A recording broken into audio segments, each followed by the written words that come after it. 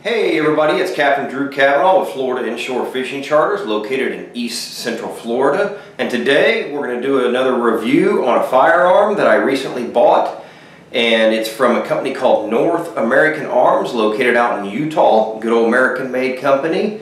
So like the bodyguard review that I did not long ago, I figured I'd do this review and just show my personal thoughts on it and let everybody know um, what you think about it. So let's get started.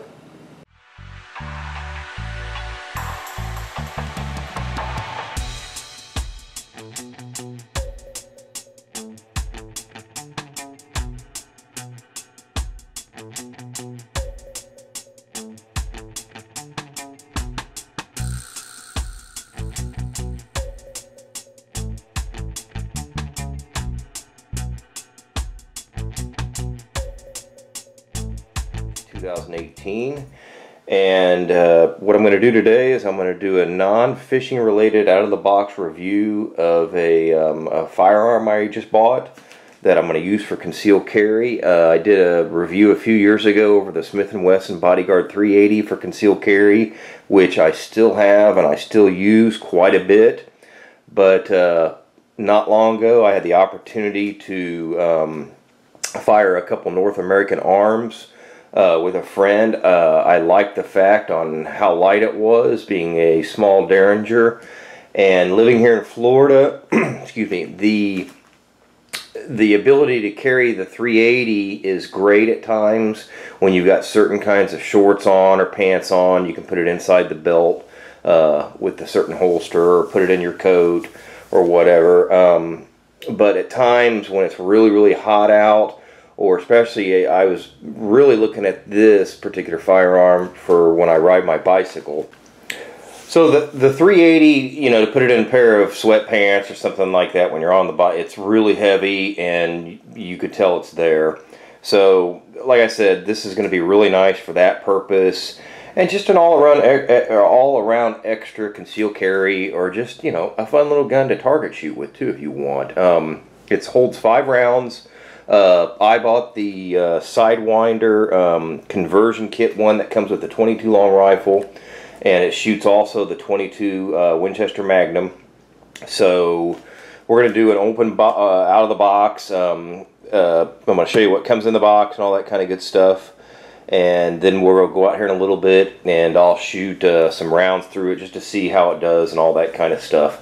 Now, I do want to make it crystal clear that, you know, just like my last review I did with the Bodyguard, I am not a professional firearms expert, so I might make mistakes. I'll never forget the day I made a video, and God forbid I called the magazines a clip, and everybody and their brother got so technical on me until, you know, until what's funny, you start going to websites like the TSA, and they don't call them magazines they call them clips like prohibited items to bring on board they say clips and the guy told me there he said we don't call them magazines ban magazines because he said then people would not bring reading material. So you know oh, it's all fine but this is a review from just an average person's perspective I would say 99% of the people that conceal carry are just an average person, a woman, husband, wife, father, mom, daughter, son, you know, friend, whatever, that wants to protect themselves. I support the Second Amendment. Um, I like to conceal carry when I can. And uh, also, I'm also going to make it crystal clear do not use my video as instructions on how to operate this. I'm going to show you a little bit on how to do it, but I beg you to read the directions that come with it, read the instructions. If you have to, contact North American Arms. Um, be safe. Be safe, be safe, be safe with every firearm. Now, I also want to say, yeah, I did open the box. You know, obviously I had to when you buy a firearm. Um, I It's fully unloaded right now. I just checked a full minute ago. Um, we're going to look at this. And it comes in a very nice box. Um, open it up. Now, it comes with a little lock box, which is just a metal box. Uh, you know, just something neat and all that. So open it up and here's the firearm. Now I will say one thing I do like about these weapons, Let's see if you can see it there, is it is made in the good old United States of America. Now, like I said, I bought the conversion kit, 22 Winchester Magnum, and then it comes with the interchangeable cylinder for the 22 long rifle.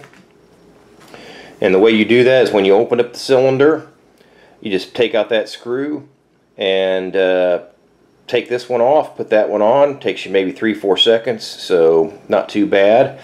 Now, the only thing that's weird that I can't get really an answer for, I mean, unless there's a firearm expert out there that can post up or something, is most revolvers, the cylinder opens to the left. This one opens up to the right, which is not a problem or anything. It's just, I don't know, I'm trying to figure that one out. So, um, now the way you open the cylinder is you pull it back till it clicks the first time and then just kind of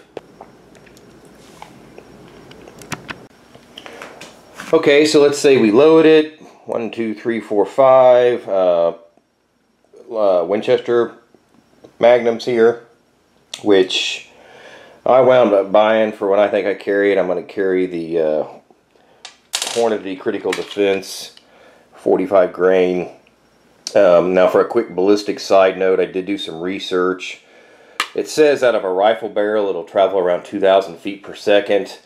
Out of this gun it should travel right around a 1,000 feet, 1,150, 1,200 I guess max, which is, that's fine. I mean, again, I'm not paying attention to that kind of stuff. But so let's say you load it. Uh, then what you're going to do is once you put it in there, you're just going to kind of bring that back and put that up in there there we go. And that just pops right in there and she's all loaded up. Now, it's a single action only. So every time you squeeze the trigger, pull the hammer back, squeeze the trigger, it's going to uh, discharge the, the, the shell. Then you got to pull it back again and do the same thing. Now, from what I'm being told uh, on their website, other people I've talked to, uh, the people I I bought this at Florida Gun Exchange in Port Orange, Florida, or I'm sorry, Ormond Beach, Florida, uh, Daytona Beach, just a little bit north where I live. And um, great guys. I bought many firearms from them. Uh, if I rec- if, if you're going to buy a firearm anywhere in Central Florida, go to them. They're knowledgeable. They say never ever dry fire this, so don't want to dry fire it. Now the other nice feature that I like is, okay, see if I can do this here. You can see a, a big notch there, then a little notch there, then a big notch, little notch. And when those are lined up like that, the firearm is hot.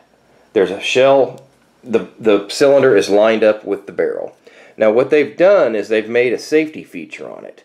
And the way this works is you rotate this until those line up and then as you pull the hammer back squeeze the trigger a little bit and lower it into the firewall there's a little notch in there and now that's in a locked position you can see where this cylinder and that cylinder are kind of blocked by the body of the firearm so now it's in a locked position and it's safe to carry I highly recommend you read the directions and go over that on how to operate that. It took me a few times to figure it out, but now that I can do it and do it quick, it's not that bad. Uh, they say not to ride around with it on a chamber.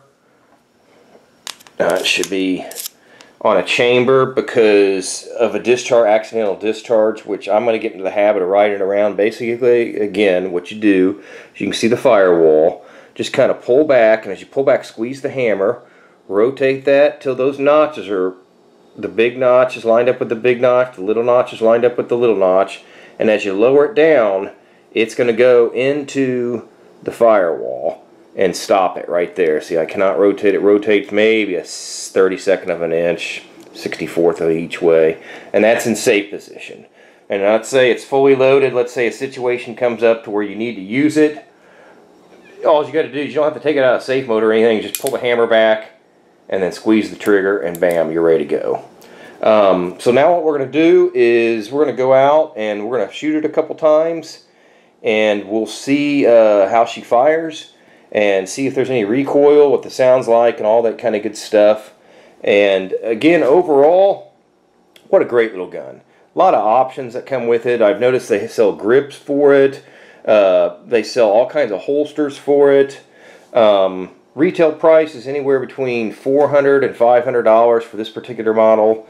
Uh, you know, the bodyguard was right around $350, $299. I think when I bought now they're four, what, 400 Depends on what features you get on it. Again, it's a great little carry gun also. But this one, I mean, my goodness, it weighs less than, uh, you know, your, your wallet. It weighs less than, um, um, but other than that, let's go shoot it and let's see how fun it is. Okay, so we're out here in um, a, a, remote part of the woods that I have access to, and we're going to test fire this um, North American Arms 22 long rifle, 22 Winchester Magnum, uh, little Derringer carry that uh, I picked up um, as at the beginning of this video I described. And, and right now what I'm going to do is I'm going to show you the camera pointed towards the target, the impact at the target if I hit it, and then um, I'm going to point the camera to me so you can actually see the weapon being fired. Um, can't stress this enough, I'm not a professional firearms ex expert, so if you get this weapon or any weapon, consult a professional. Um, just use this video as my my review, my opinion on it. I like it so far. I also like the Smith & Wesson Bodyguard. But the two rounds that we're going to shoot, this is going to be the one that I'm going to carry um, for self-defense. It's a Hornady uh, uh, what 22 Winchester uh, Magnum uh, rifle. I think it's 45 grain ballistic tip. And then I'm also going to shoot uh, some rat shot, shot shell, or also called snake shot. I think what a lot of people call it. I just call it rat shot. But uh, get you a quick view of that. So there's the rat shot. And then there's the little ballistic tip Winchester Magnum. Okay, so now here's the view for me about, oh, I'd say, uh, let's say um, uh, uh, 20 feet away, which is probably optimal, for, again, for this little firearm. You know, it's not designed for close uh, major combat and all that kind of stuff. And again, I want to stress that if this is going to be your first concealed carry weapon, I would not suggest this. Um, this is a more advanced weapon for somebody that has a little bit better knowledge of how to handle and hold a firearm, how to operate a firearm. Um, it can be tricky for somebody that's never, you know, picked up a firearm just to go say, hey, this is going to be my first gun ever. Um, it takes some uh, getting used to, so I would highly suggest that you uh, don't start off with this firearm. And again, I'm not a professional firearms instructor. This is my personal view of this gun, um, handgun, and uh, I like it. Uh, it's going to be fun to carry and well, let's see what this thing can do at a fairly close range. Um, I put up a paper target here uh, so you can see uh, um, what it does on the target if I even hit the target. This is going to be the first time I've shot this weapon so let's see what happens.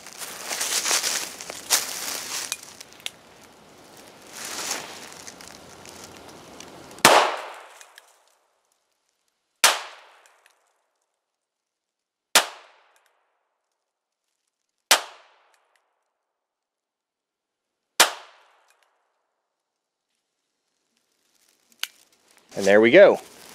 So three isn't too bad for the first time.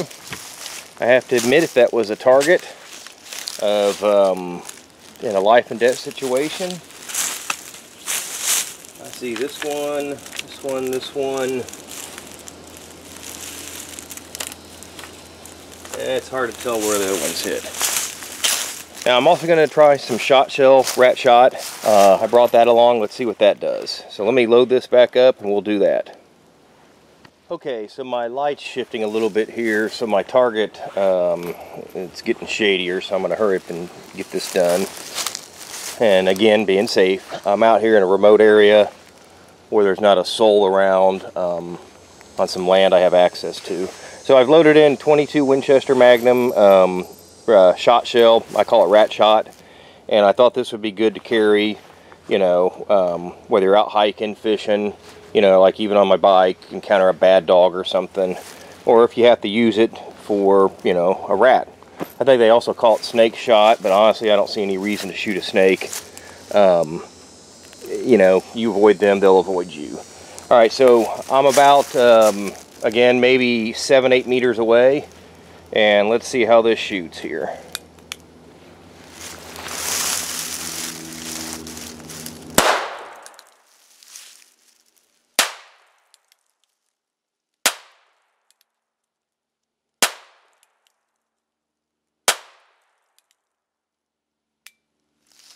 There we go. As you can see,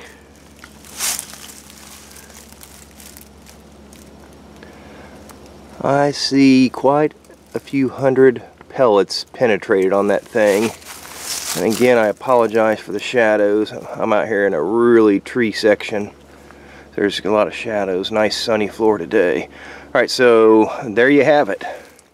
Okay, so here's a better close-up of that uh, shot shell, rat shot, snake shot, whatever you want to call it. Um, you know, pretty much, um, I mean, if you were going to use that in self-defense, five, six feet away, you put that in somebody's face, it's it's gonna it's gonna hurt. It's gonna f them up. Um, I wouldn't use that as self-defense to carry because if you're in a crowd or something, you have to defend yourself or defend defend somebody. Some, if you have to defend somebody else uh, look where all that's going. There's no control over it. Um, I like to use those right there. So I hope that's a little bit better view there. Okay, so we're going to discharge this at the target. Um, seven, eight meters away, 20 feet, something like that. Not too bad. Uh, hope the light's good.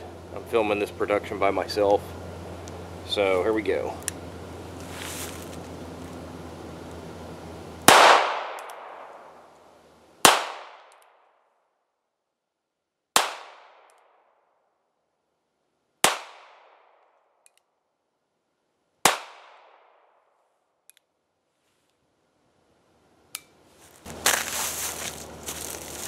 So and there you have it, the um, uh, North American Arms 22 long rifle Winchester Magnum. Comes with two barrels, I mean comes with two cylinders, one for the long rifle, one for the Winchester Magnum. Uh, Sidewinder, perfect little weapon. Again, it's not designed for a first time gun owner weapon. Um, I would consult a firearms dealer on what would be ideal for you. But you saw this thing shoot and I mean just the way it handled it holds, it's light, it's fun. I want to thank everybody for watching and please subscribe to my channel. And if you got any questions,